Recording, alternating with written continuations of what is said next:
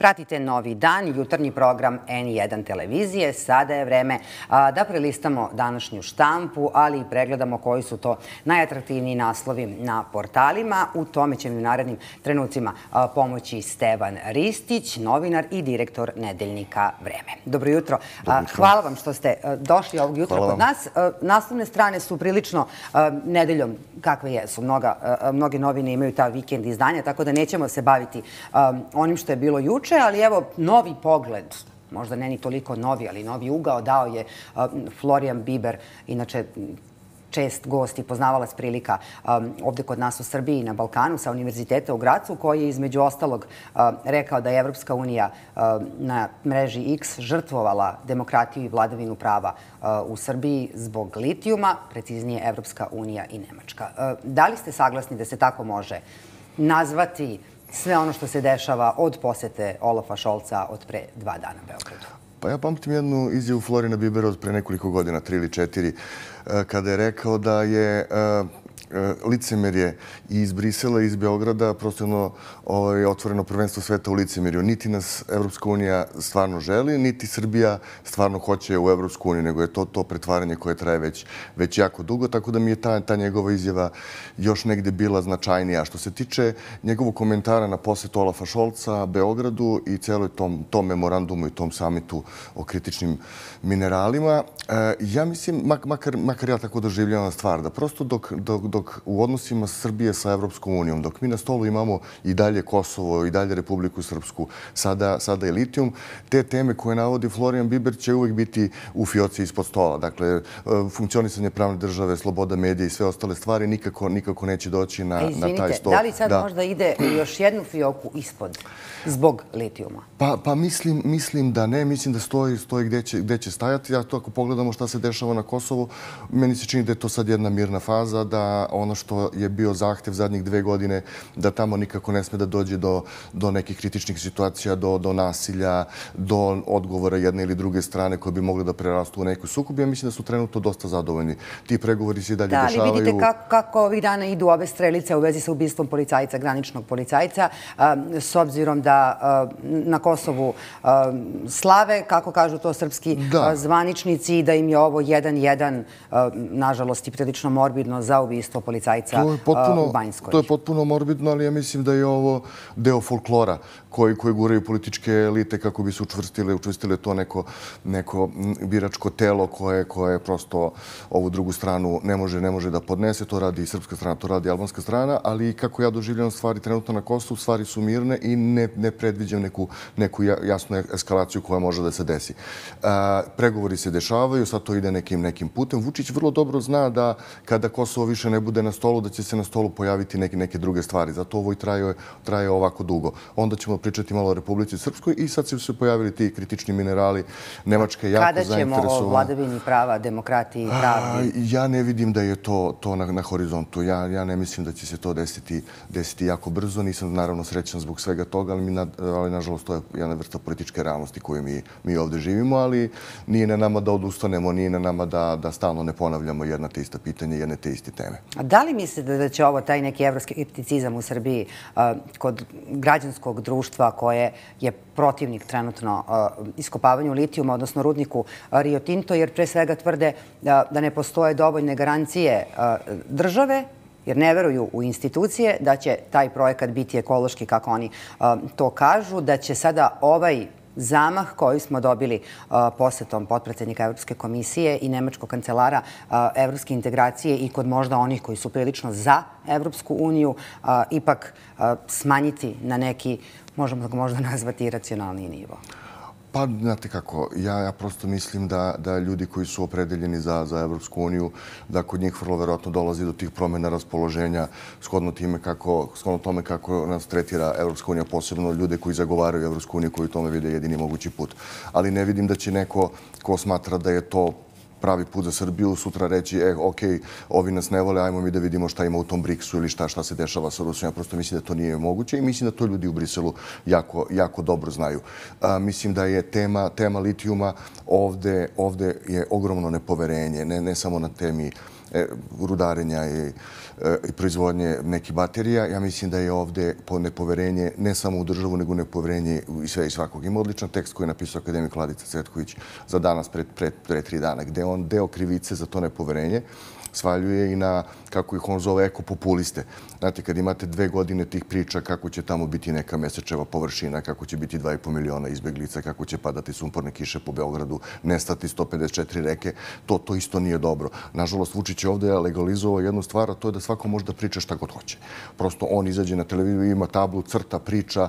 To su stvari koje su često i neproverive, ali to je, nažalost, postalo jedna jedini mogući diskurs koji mi, mi trenutno imamo i to, to, je, to je meni, to je meni mnogo, mnogo žao zato što više ja ne mogu da se orijentišem. Ja koji smatram da sam informisan, pratim stvari, kao znam neke stvari, ali ja ne mogu da se informišem dobro samo zato što, i nije to samo kao što imamo kod Hane Arendt, oni lažu da niko više nikom ne bi verovao, nego je počela i ova strana koja se zalaže konkretno ovde protiv rudnika, da isto pravi, pravi zapravo paniku među tim ljudima, smatrajući da će to da izazove neki, neki talas koji će sutra... A smatrate da izaziva suprotno. Na talasu, na talasu litijuma i, i, svega onoga što se u Srbiji dešava i sada možemo reći nekako ubrzano mhm. dešava ove nedelje je i ovaj intervju u današnjoj, današnjoj politici Jakoba Štausholma. On je inače izvršni direktor kompanije Rio Tinto. On za politiku kaže da je život u dolini Jadra da će život u dolini Jadra moći neometano da se nastavi, pa tvrdi, kompanija može sa sigurnošću tvrditi da u dolini Jadra može da se nesmetano nastavi uporedo sa podzemnim rudarenjem i preradom e, vode. Da li i ovde verujemo na reč, s obzirom da ova tehnika je prilično neispitana i ne možemo da kažemo da oni imaju možda jasan plan i tačno nešto što bi onu studiju onomad mhm. podkrepilo načinom na koji će se to raditi i da li uopšte postoji malo zagađena voda i malo zagađeno zemljište? Pa mislim da ne postoji, ali opet možemo se vratimo i 20 godina unazad. U Loznici je funkcionisala radila ona fabrika viskoza. Tako da ja, ja sećam, bio sam, bio sam mali kad, kad prolazimo kroz Loznicu, zatvaramo prozore zato što to, to zagađenje se, se prosto osjećalo. Ali ja bih to gledao negde, pošto nemamo, nemamo kome da verujemo, ne možemo da verujemo ovaj, e, državi, ne možemo verujemo kompaniji, ne možemo verujemo ovim ekopopulistima. Ja bih tu koristio neku vrstu zdravo logike. Šta je, šta je interes kompanije? Interes kompanije je da napravi profit. I to je potpuno, potpuno, potpuno jasna stvar. Šta je interes ljudi iz, iz tog kraja? interes tih ljudi je da ostanu da žive gde su živjeli do sada. I to je potpuno legitimno i potpuno jasno. Šta je interes države? E tu moramo da vidimo mi šta je zapravo interes države Srbije i šta Srbija država radi ako je definisala svoj interes. Da li je to taj neki privredni rast od 12% kakav ima Slovačka? Ja to ne znam, ali mi ne možemo. Mi smo ozračeni tim ogromnim ciframa. Ovde se trenutno piše samo o milijardama. Priča samo o milijardama. Preciznije 6 milijardi koje su... Ali to je pre 7-8 godina bilo nezamislivo da mi pričamo o milijardama. Znate, mi smo, mi smo e, uh, NIS i tržište naftnim derivatima u Srbiji prodali za 340 miliona.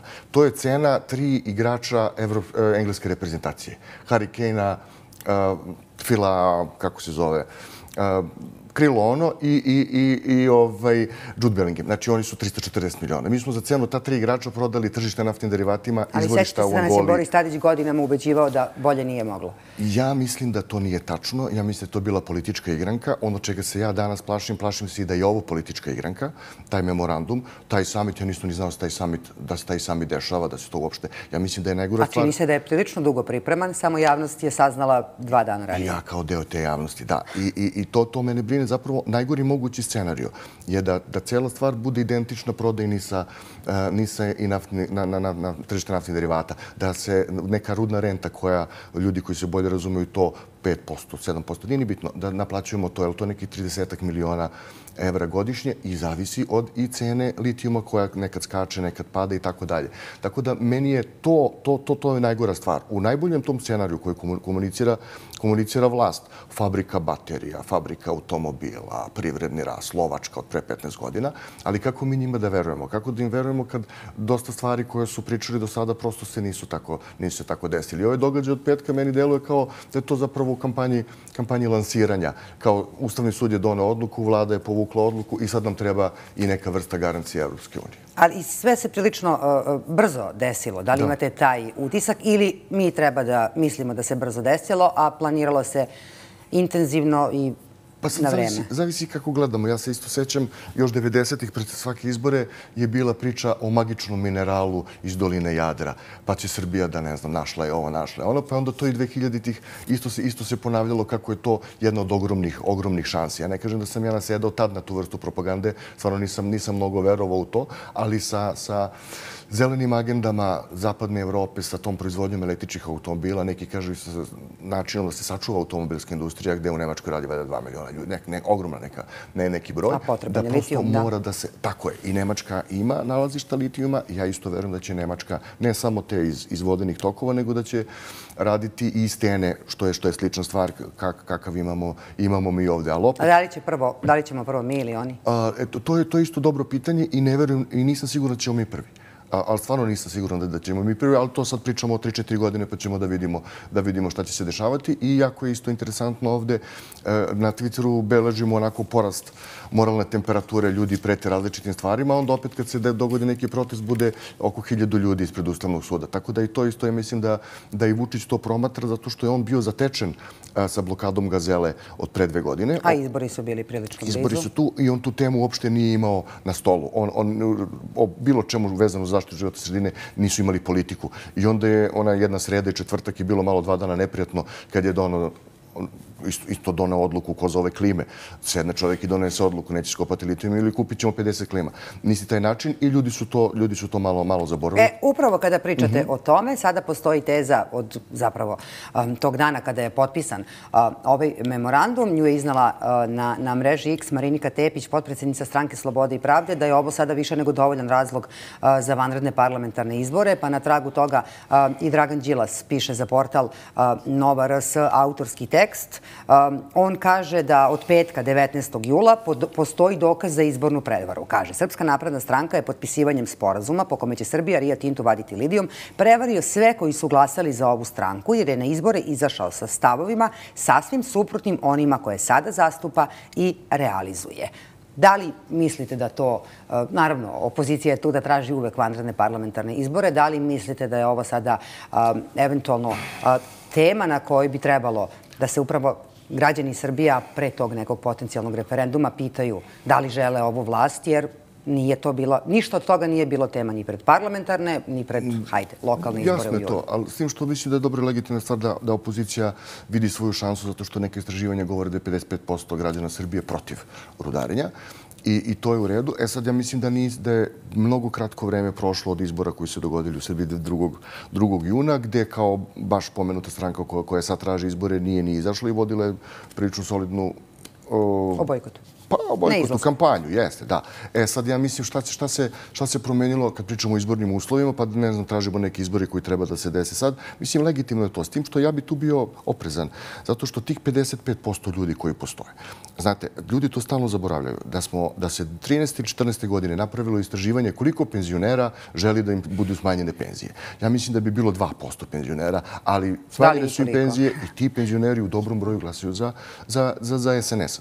Zašto glasuju? Ja ne, ne mogu da krivim njih. Ja prosto mislim da medijska mašinerija, sve što se dešava, to pospešuje. Ali prosto ne bih, ne bih prosto ne, ne, neću da delim savjet opoziciji, ali tih 55% može da se okrene jako, jako brzo i nisam siguran da tu treba da vide mogućnost da, da, da se Vučić, da se Vučić. A da li verujete da tih 55, kao i, kao i za penzionere, kao i mnoge, a, ako ih možemo tako nazvati, žabama a, mm -hmm. koje su građani progutali mm -hmm. i nastavili da glasaju mm -hmm. za mhm. Srpsku napravnu stranku, kako vidite onda tu kampanju, na primjer, u narednih dve godine za litijum. Da li verujete da je Srpska napredna stranka, možda i sam predsjednik i opet neki strani ili domaći savjetnici da imaju taktiku, strategiju i kratkoročno, dakle i dugoročno razmišljaju kako da litijum postane građanima Srbije prihvatljiv i da eventualno protivnici ostanu oni koji moraju zbog rudnika biti iseljeni? Pazite, ja mislim da prosto da je da, da ova vlast i, i kompanija Rio Tinto e, da su imali nekakav dogovor ja sam ubeđen da bi se to već, već kopalo godinama, kao što imamo Beograd na vodi. Znate, e, kad je trebalo da krene Beograd na vodi, e, donošeni su zakoni koji su direktno kršenje ustava. Rušilo se noću, čak je onaj čovjek jedan preminuo te noći kad se rušilo. U toj operaciji učestvovalo vjerojatno 150 ljudi, niko reč nije rekao. Znači, kad oni nešto reše da rade, oni će to da urade. Taj Beograd na vodi je već došao do sajma, kako izgleda, koliko se to svima uključenim u operaciju isplati, doći do oslužnici. Tu nema nikakav, nikakvog problema. Nema. E sad ovdje mi deluje A pričalo se i po gradu da je, da je vrh vlasti od kompanije pre nekoliko godina, tri ili četiri, tražio dovođenje investitora. Tražio da se dovede fabrika baterija. Dakle, ne samo rudnik. Jeste. I onda su oni rekli da to njihov posao nije. To je čak Vučić rekao pre par dana. Kaže, bili su dosta arogantni. Ja mislim da se on poziva na taj gradski traž koji je možda i tačan. Kao prosto bili su arogantni, nisu htjeli sarađuju na taj nivo, oni su rudarska kompanija, oni vade rudu i to je, to je njihov posao. Tako da mislim da sad, kad, kad je krenula ova kampanja, kad je uh, Vladimir Đukanović počeo da tvituje ima da se kopa nego šta, ja znam, sećam se sa pričom s kolegama, su rekao njim, ovo izgleda buše projekat. Ovi izgleda stvarno ne žele Rio Tinto, oni hoće da, da iznerviraju, pa ste u decembru milion i sto hiljada građana Srbije glasa protiv ove vlasti. Mi smo to zaboravili zato što smo počeli da kukamo od prvog dana kako je bila krađa, bili autobusi, ali milion i sto hiljada građana je ogroman broj koji je protiv vlasti. I sad je to jedan bazen koji razrearuje zapravo i Jana Brnabić i Vladimir Đukanović i cela ta ekipa. Ja znam sam onda kako, pa ovi izgleda neće, ovi kao nisu se nešto dogovorili, ali hoće da, da promene, angažovat će nekog drugog, nekog domaćeg biznismena i to ne možemo znam. Ove, I onda tweetovi postaju drugačiji. Jeste, jeste. I onda se kao pegla, pegla ta stvar. Imamo taj summit i ovo deluje kao, kao lansiranje gledajući kako oni tretiraju A da li, da li mislite da ima istinu u tome da građani za ovo nisu glasali i da sada a, ovo treba da bude povod za nove vanredne parlamentarne izbore, iako je Vučić više nego jasno jasno rekao da do 2027. nema izbora, a i prvog dana kada su ih tražili rekao je ništa od toga.